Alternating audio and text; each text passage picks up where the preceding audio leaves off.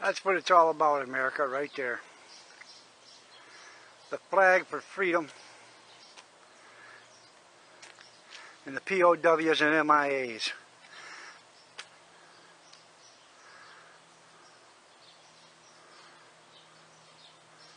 I don't know what else I can say, but God bless America and the men and women that serve. Also the first responders. God bless the USA.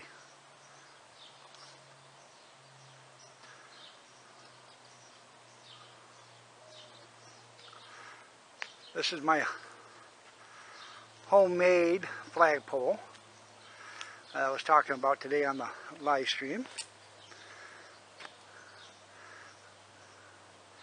I don't know if you can see it up there or not.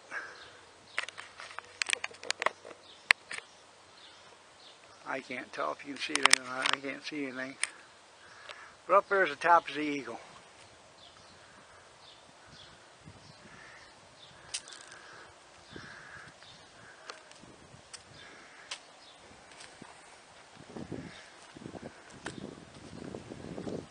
And this is what I was talking about.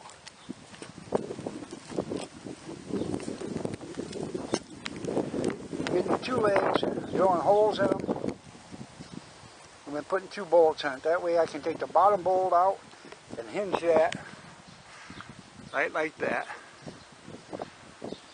Right there is the beautiful golden eagle. That's brass. Weighs about three and a half, four pounds, maybe five pounds, but it is beautiful. Never get tired of seeing the flag wave. And if you're a patriot, you wouldn't either. God bless the USA.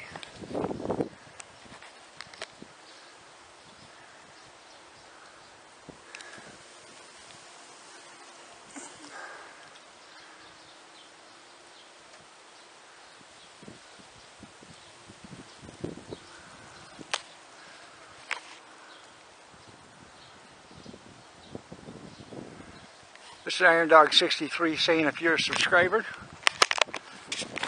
thank you for subscribing.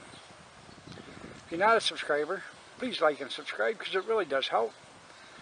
And as always, God bless and have a good day, but always remember to think of that. Thank your first responders. They're the ones that count. They're the ones that make all the difference in this United States of ours. God bless them all.